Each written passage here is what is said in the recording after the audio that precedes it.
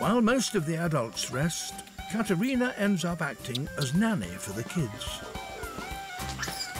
After her earlier fight, doing this kind of favour for the others might just get her into their good books.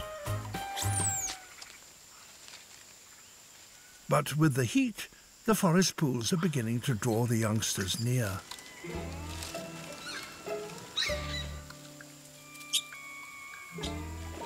It's time to take a dip. First with the older juveniles,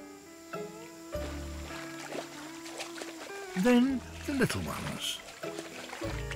And before long, it's a full-on pool party.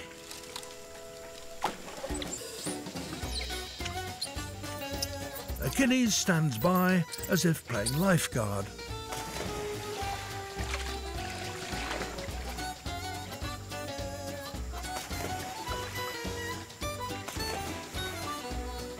This looks like a lot of fun for the baby, but Ibu isn't letting him anywhere near that ruckus. Macaque mothers actively protect their young for nearly 18 months.